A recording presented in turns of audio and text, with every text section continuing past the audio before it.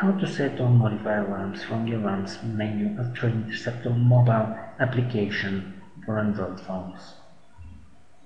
In section More, select Alarms and in order to add a new alarm, select plus on the top.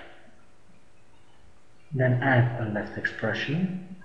You can choose from price, indicator or value, where the price is the real-time price of the chart, the indicator is your specific indicator for which you want to create an alarm, or value, which gives you an opportunity to define a value of that indicator or the price. In this case, we will select an indicator from the list.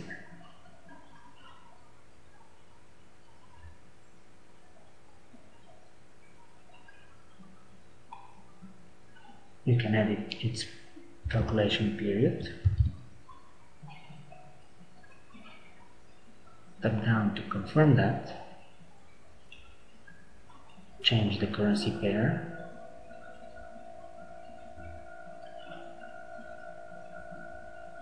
You can also edit the price type and time frame. Tap down to confirm the left expression. Select the condition for this alarm. And finally select the right expression.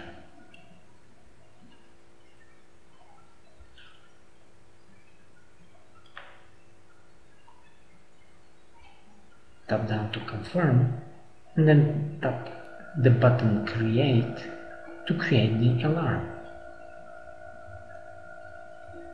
To modify an alarm, touch an existing alarm and select Edit Alarm Condition.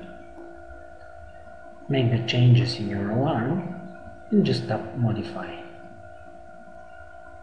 You can create multiple conditions for an alarm very easily.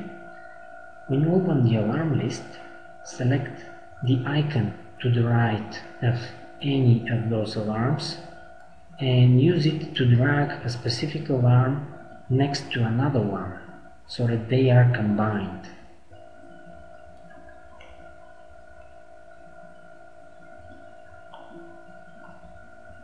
When they combine, the new alarm will trigger only when all these conditions are true.